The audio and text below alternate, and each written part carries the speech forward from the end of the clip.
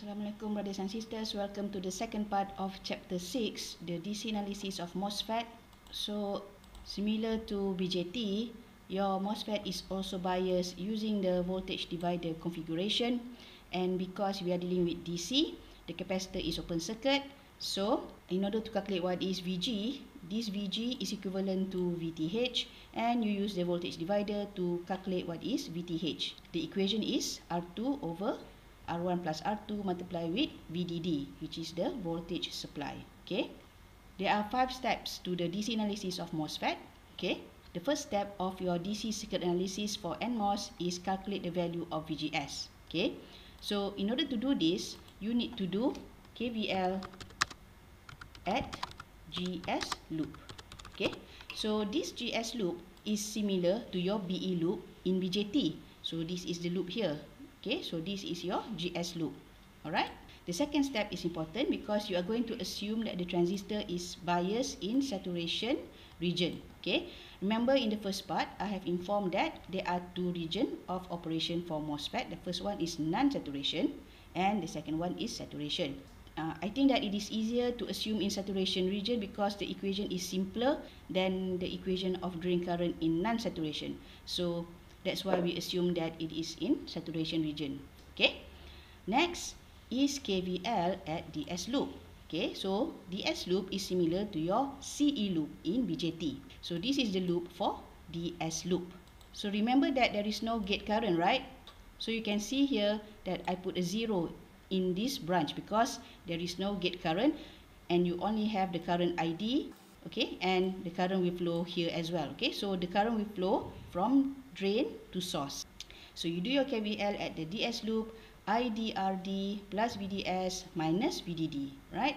And when you rearrange you will get this equation okay? Now the fourth step is calculate VDS saturation which is equivalent to VGS minus VTN so this VGS is from your step 1 VTN is normally given in the question right Now, this is important. Confirm your assumption. So, if your VDS from step 3 is bigger than your VDS saturation from step 4, then your assumption is correct. The transistor is biased in the saturation region. Otherwise, if VDS is less than VDS saturation, the transistor is biased in non-saturation region and you will have to repeat step 2 using the equation of drain current that is for the non-saturation region. Okay. I'm going to show you the example later in the next couple of slides. Alright? Okay, so let's look at one example. The question is, calculate the drain current, ID, and the drain to source voltage, VDS, okay, for a common source circuit configuration with an NMOS uh, field effect transistor. You are given R1, R2, the drain resistor, VDD is 5, you are given VTN and KN, okay. So the first thing you need to do when you are given the voltage divider configuration is to convert into Thevenin equivalent. Okay, just like your BJT. Okay, so that's the first thing we need to do. So VTH is the voltage divider and the RTH is R1 parallel with R2. For this analysis, you're not going to use RTH because of the zero gate current kan. But you are going to use it later in chapter 7. Right? Anyway, uh, the first step is calculate the VGS, right? And the VGS can be calculated using the GS loop. So GS loop is here, okay? And when you do that, you can see that VGS minus VTH plus 0, right? Because there is no current flow here. And therefore, VGS is equivalent to VTH, yeah? So, I calculate VTH is equivalent to 2 volt. So, therefore, VGS equivalent to 2 volt as well, right? The second step is assuming transistor bias in saturation region. Okay, so I calculated the drain current using the VGS value from step 1 and we obtain ID equivalent to 0.1 milliampere. Right? Next is the KVL at DS loop because you want to know what is VDS and therefore you need to do KVL at this loop. Alright? So you have IDRD plus VDS minus VDD and therefore you need to use the value of ID from step 2. Okay, and the answer is 3 volt right?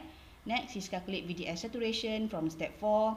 And when you do that, VDS saturation is equivalent to VGS minus VTN. 2 minus 1 is equivalent to 1 volt. Okay.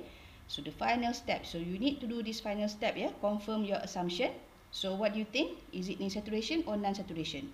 So you look at step 3. Step 3 VDS is 3 volt and VDS saturation is 1 volt. So 3 is bigger than 1 which means that your assumption is correct. Transistor is biased in the saturation region. Okay, so that's it. That's your DC analysis for your MOSFET. So this is another example. Okay, so similarly the question asks you to calculate what is ID and VDS. So I think you can try this for yourself first because the solution is in the next slide here. Alright, and therefore you can compare your answers with the solution. So now I would like to focus to this example.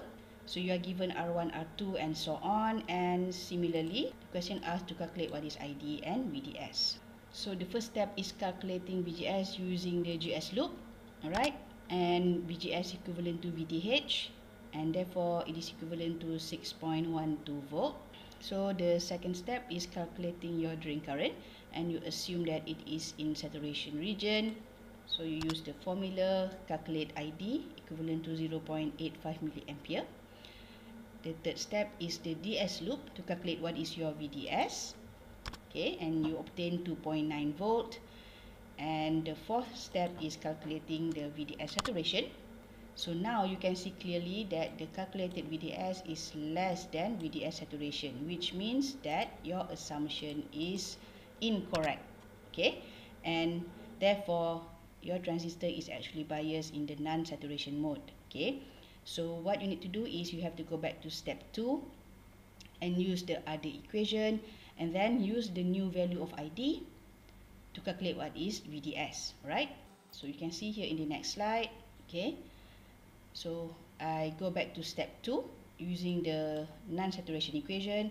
And because the equation has a square term here, you will end up having a quadratic equation, yeah? So you need to use the b squared minus 4ac over 2a, which of course you can find using your calculator.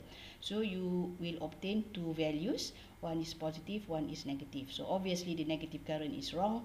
You're going to choose the positive current okay? And go back to DS loop put your value of ID in the equation and you will obtain VDS equivalent to 3.5 volt right? So this is your answer. So you don't have to do step 4 and 5 anymore because we have already established that the transistor is biased in non-saturation region okay?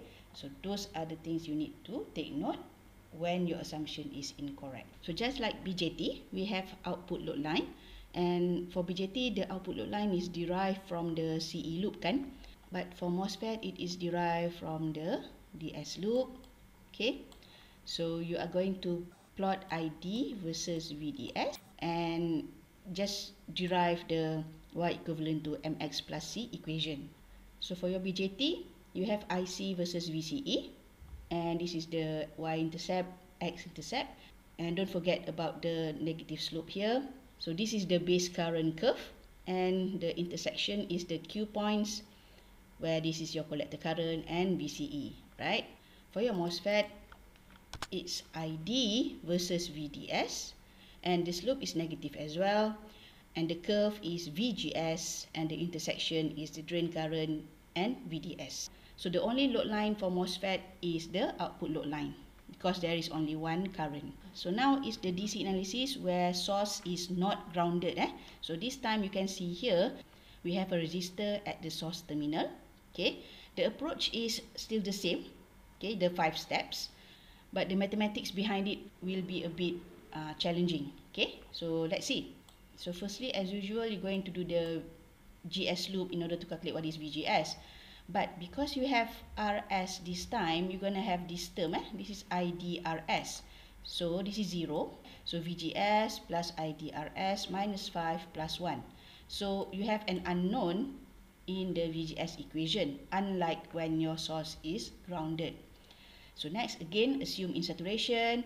And this time, when you put in VGS inside the equation here, so you will end up having a quadratic equation and you will have two values of ID. However, this time both values of ID are positive.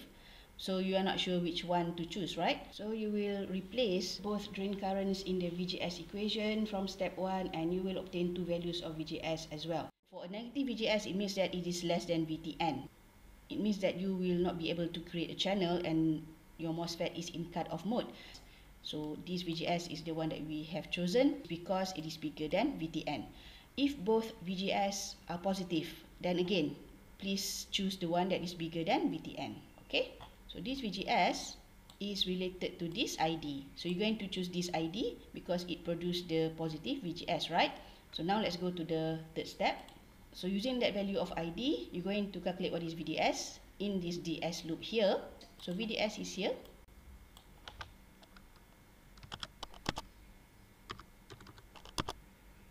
Right? So that's your VDS and you will obtain 5.938 volt. Calculate VDS saturation and you will get 1.646 volt. And VDS in step 3 is bigger than VDS saturation so our assumption is correct. Okay? So that is the case when your source is not grounded. Okay next. This example is a design question. You can see here the term design the circuit such that you are given the current and VDS so a design question means that you are going to find the resistors eh? R1 R2 and the drain resistor so I'm going to solve this with you using the five steps. The first thing you need to do is to find the Thevenin equivalent. So RTH is equivalent to R1 parallel with R2. But RTH is not really used in the calculation, so I'm not going to proceed with the calculation. What is important is your VTH, the voltage divider. So R2, R1 plus R2 multiply with 5 volt. Oh, I forgot. In the question, you are given R1 plus R2 equivalent to 670 kilo ohm, right? So you can replace this in here and therefore your VTH is equivalent to 5R2 over 670 kilo ohm, right? So this is your Thevenin equivalent. So let's do the first step. So the first step is VGS from GS loop. So VGS equivalent to VTH which is equivalent to 5R2 over 670 kilo ohm. So step number two, we assume the transistor is in saturation and ID is equivalent to Kn VGS minus VTN squared. So ID is 0.88 milliampere, Kn is 0.8 milliampere per volt squared, VGS minus VTN which is 0.8 volt squared.